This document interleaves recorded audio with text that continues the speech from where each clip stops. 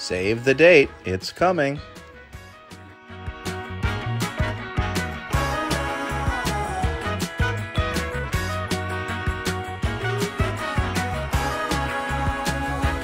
A private viewing from Arizona artists, and then a special wine tasting from the local Arizona wineries.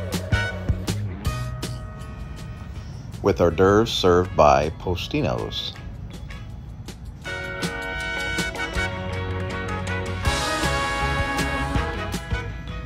Then we'll head out a few steps away to the local arcade bar for a friendly competition after a quick stop at the 100 year old bank.